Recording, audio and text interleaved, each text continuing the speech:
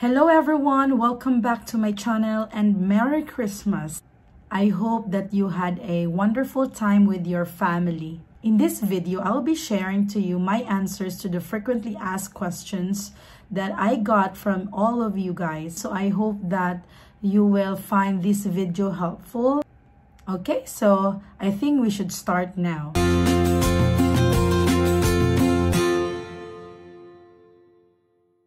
So this first question is from one of my subscribers, Janica Brutas. Janica, thank you so much. If you are watching, thank you for your question. So first question, Ma'am, ano po agency ninyo?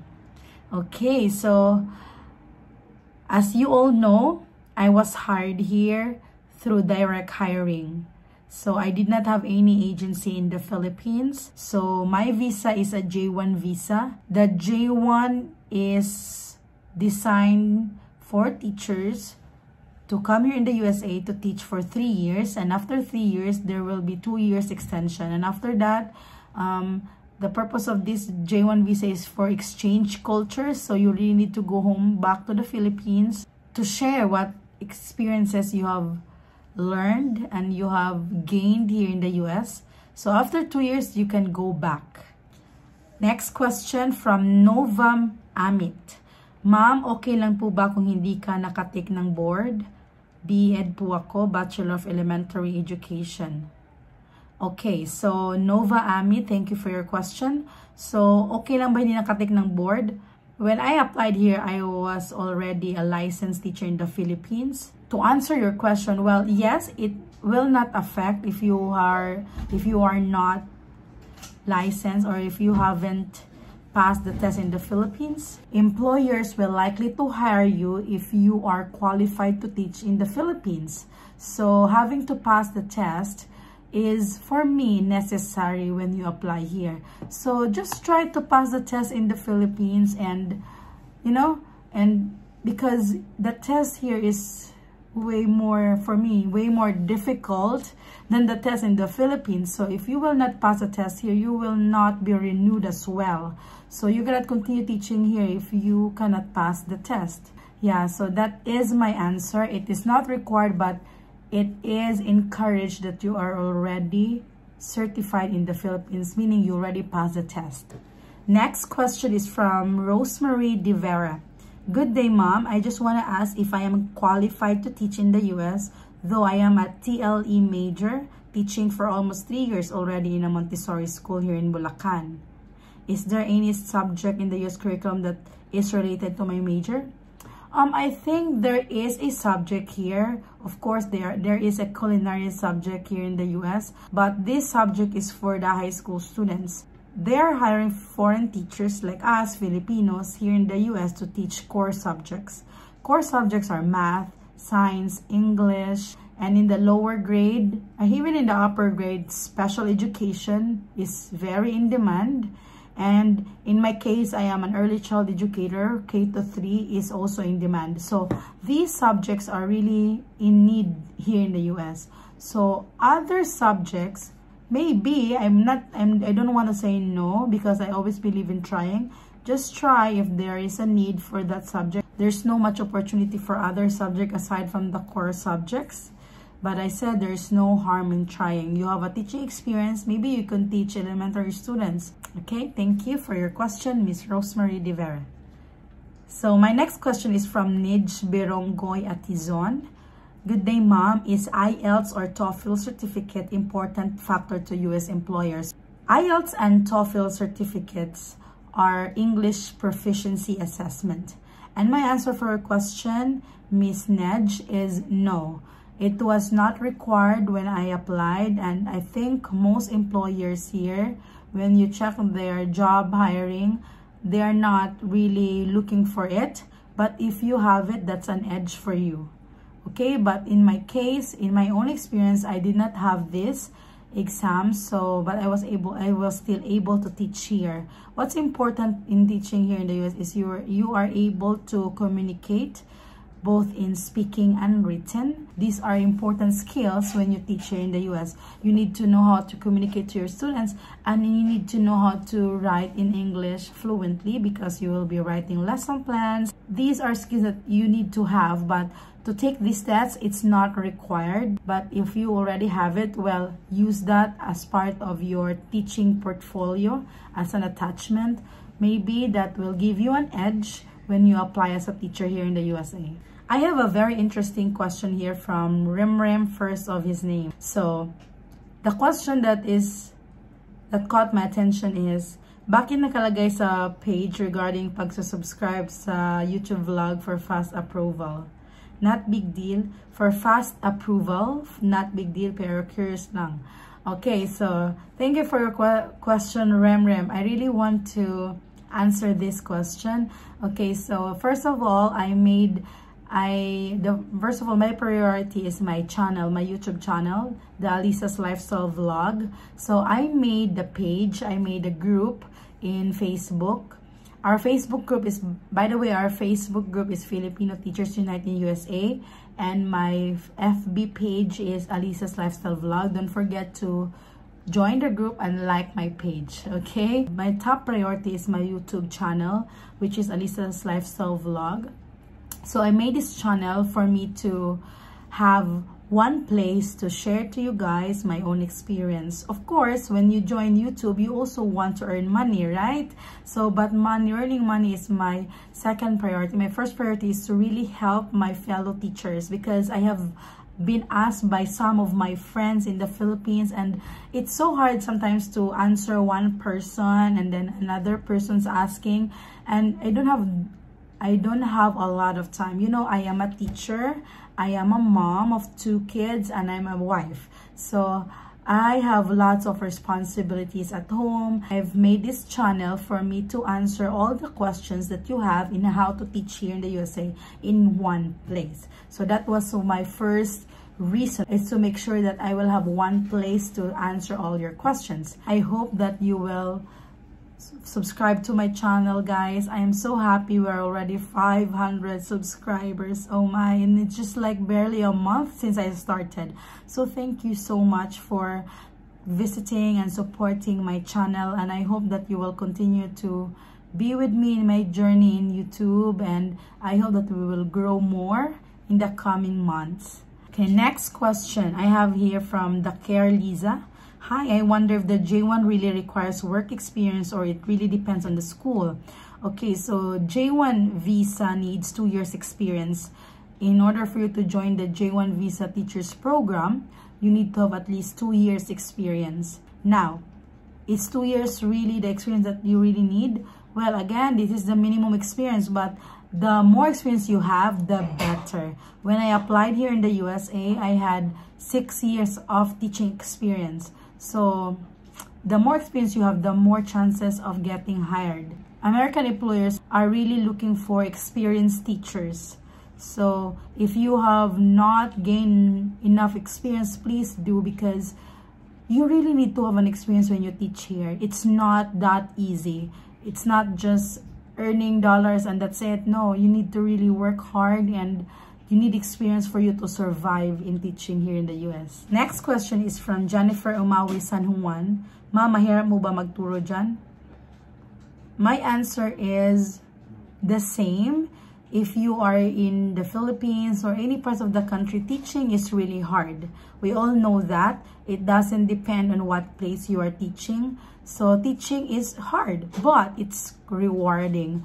Here in the US, you are provided with all the materials, technology, resources, curriculum, everything are provided for you and there is less paperwork, more on teaching. So that is one thing that I am so happy about teaching here because I don't need to worry about what to teach and what to use in teaching. Everything is provided.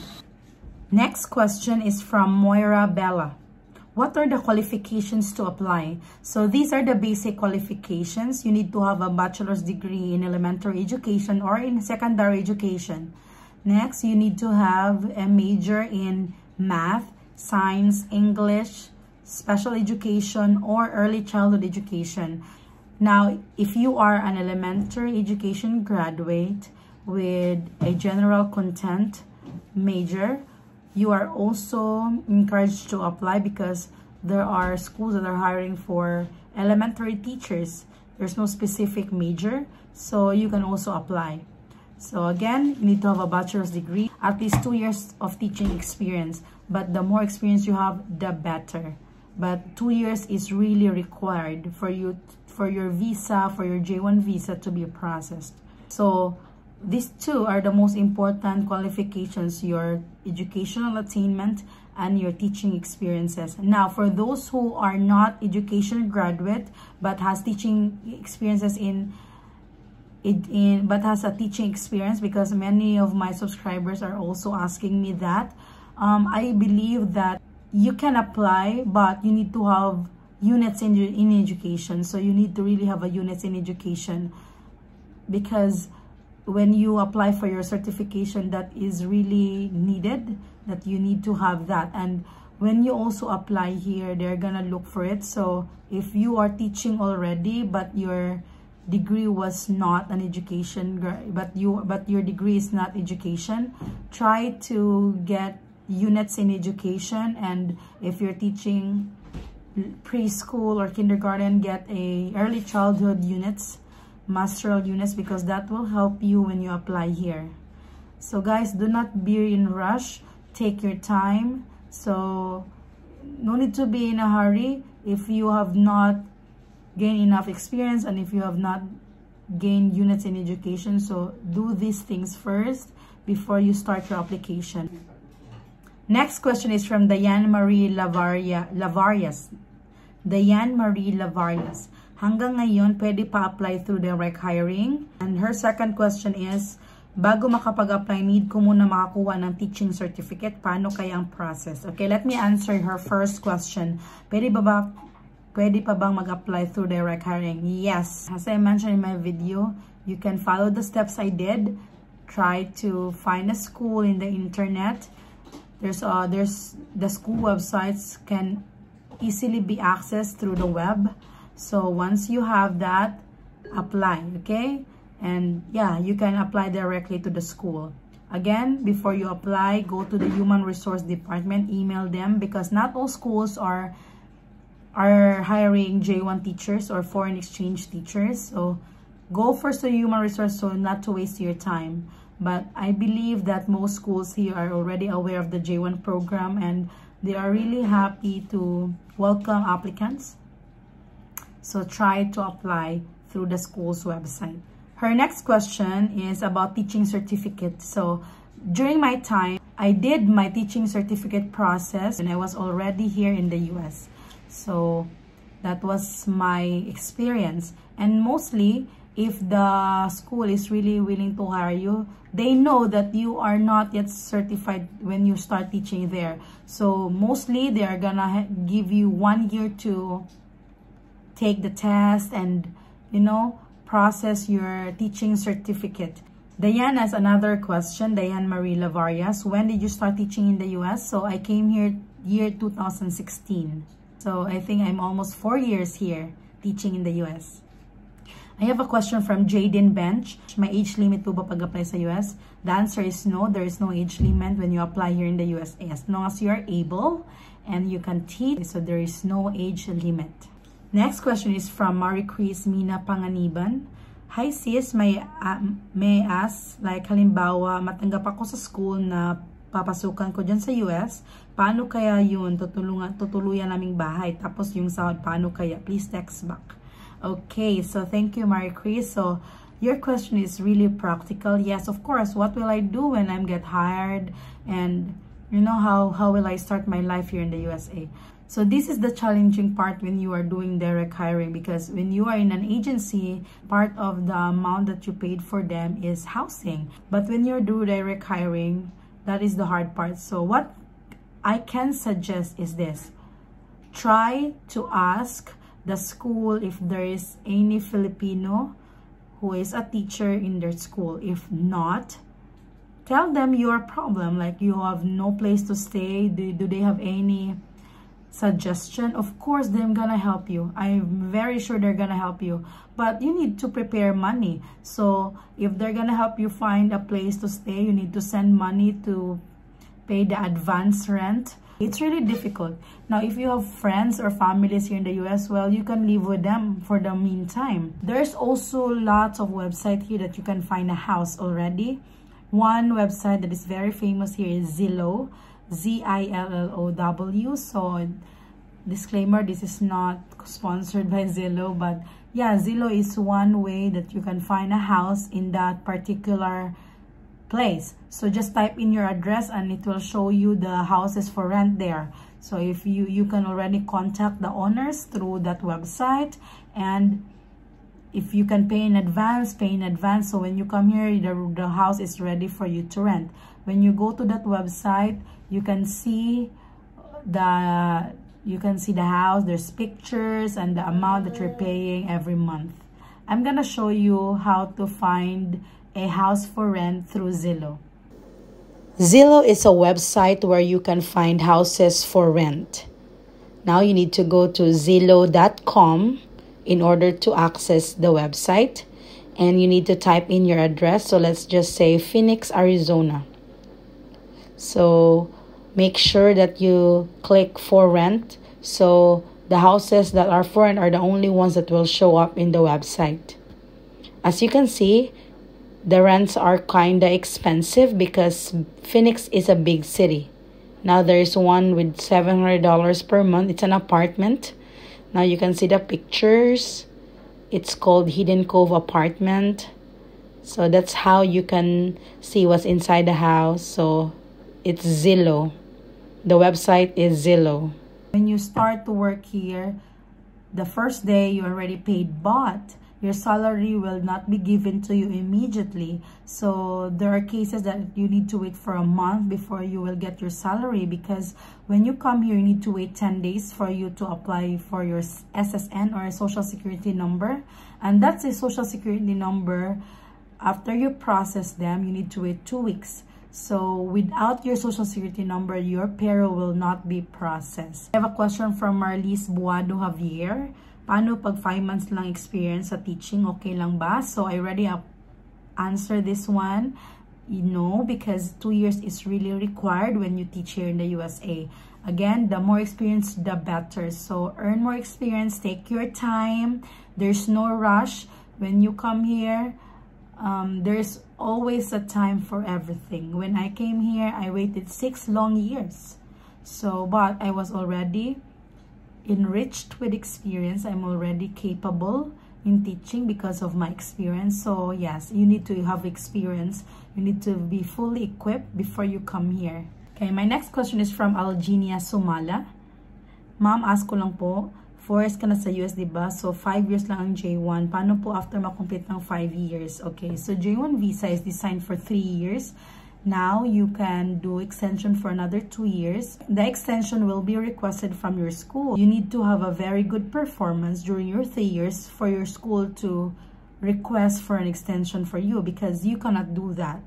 And if the school will not will not request for tourist extension, you are really required to go home after three years because three years is the own the program is only for three years. The, the tourist extension is depends on your employer. Now, what will happen after five years? The program is exchange program, so it is designed for you to go home and share your experiences to your home country. So after two years, you can reapply again. Now, is there a way that you can stay here without going home for two years? Um, yes, the answer is yes, but it's very limited because in order for you not to go home and be able to continue working here, you need to get a waiver. And to get a waiver, there are two options only. First is to marry a U.S. citizen or second option is to have a U.S. citizen child. So only those options, that's why I said limited. If you cannot get a waiver, you are really going to go home after five years. So I have here a question from Michelle. I will be answering number 3, 4, and 5 because I already answered number 1 and 2. So for number 3, yes, you will have time to observe classes maybe for a week before you will handle your own class. For number 4, our class time starts at 8.15 and ends at 3.15. So that is our teaching time with one hour of planning time. And for question number five, yes, there is a written exam. How long will be the result? Well, it depends. Mostly, it is just less than a month. The result will be emailed to you if you pass or failed. This test take a long time because there is an essay type of test at the end. But during my time, I took two exams, one with the essay type of test and one without. So the other one is the subject knowledge test. For the subject knowledge test, you, you will know your result after taking the test immediately. So you don't need to wait for that. But for the professional test, which has an essay test, you need to wait almost a month for the result. That's it guys. Thank you so much for all your questions and I hope I was able to answer and give you ideas on how to teach and apply here in the USA. So I think I will be doing part 2 of this Q&A. So just keep updated by subscribing to my channel. Thank you so much for watching and I hope that you will have a great holidays. Thank you guys. See you next time. Bye.